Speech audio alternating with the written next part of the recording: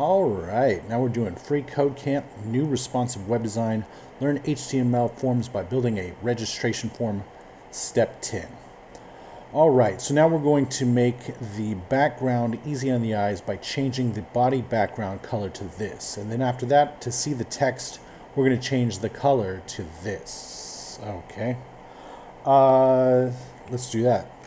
We're going to say background color, and then we're going to have number sign uh, 1B, 1B, 3, 2. All right. And then we're going to do color. Uh, and then number sign F5, F6, F7, F5, F6, F7. Some sort of gray. Uh, and let's check it. Looks good. All right. Now submit it. And now we're on to step 11, and we'll see you next time.